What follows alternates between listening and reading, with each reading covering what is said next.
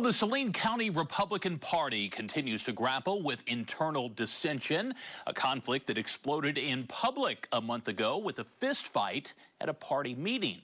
Well, tonight, Channel 7's Daniela DeHogany speaks with one GOP candidate for office who says she's being denied funding for her campaign, all because she chose sides in that dispute.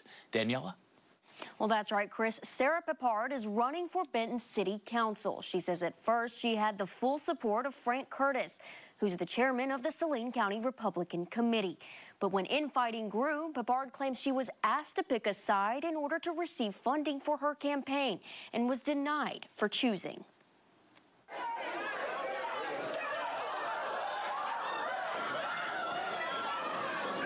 The Saline County Republican Party divided right before an election. Most visibly during a September 5th meeting when a fistfight erupted. One of the issues being discussed funding candidates. The Saline County Republican Party that I saw, it was united and working as a head and body together to fight and bring more uh, power to the people by the people, uh, unfortunately did not exist. Sarah Peppard is running for Benton City Council. She believes she was denied campaign funds by the party when she chose sides in an internal conflict. She blames Chairman Frank Curtis. Curtis denies the allegation, telling Channel 7 News, quote, This is a complete lie. It is a ridiculous claim based on how our committee handles donations to candidates. I have never had a conversation with her about any type of contributions.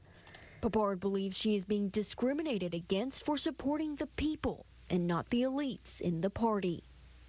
I realize that I have to choose a side within Republican Party and that caused uh, me to not receive the fund that I needed for my campaign.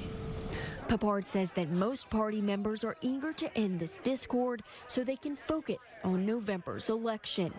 But she claims the party elites are prioritizing their own power over representing the people's interests. Now, several members echo that they want to keep their focus on the people and not the internal power struggle. This has now led to some candidates on that list to refuse receiving funds.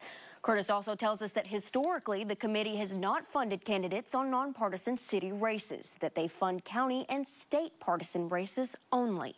On your side, I'm Daniela DeHogany.